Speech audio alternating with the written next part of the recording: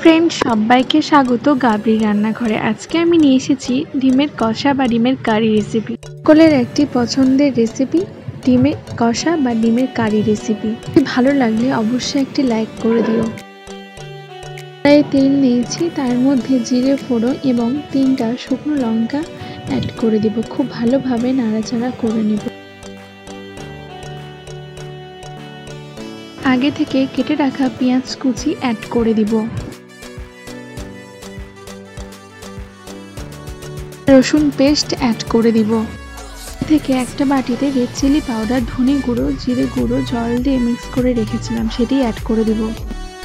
খা, টমেটো কুচি, কাঁচা লঙ্কা অ্যাড করে দিব। নুন, চিনি অ্যাড করে দিব। খুব অল্প আছে, মশলাটা কষিয়ে নিব। মশলাটা ভাজা ভাজা হয়ে গেলে ডিম কারি মশলা অ্যাড করে দিব। যে কোনো দোকানে গেলেই পাওয়া যায়। পর পরিমাণ মতো জল অ্যাড করে দিব।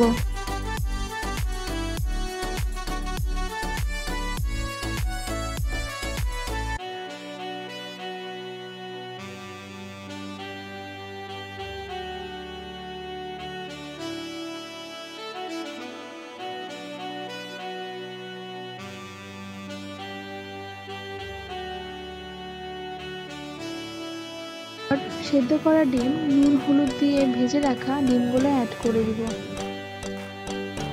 একটু দু মিনিট ফুটিয়ে নেব। ফুটে উঠলে আমার একেবারে রেডি ডিমের কারি বা কষা রেসিপি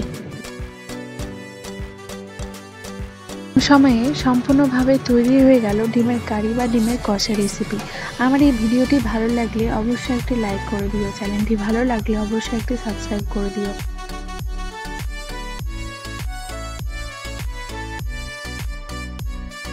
ধন্যবাদ